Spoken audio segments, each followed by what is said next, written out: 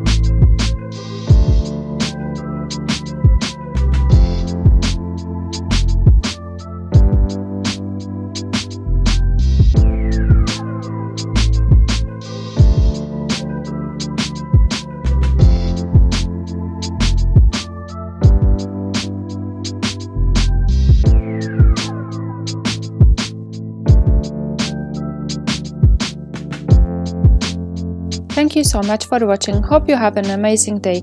Please hit the thumbs up button if you enjoyed today's video.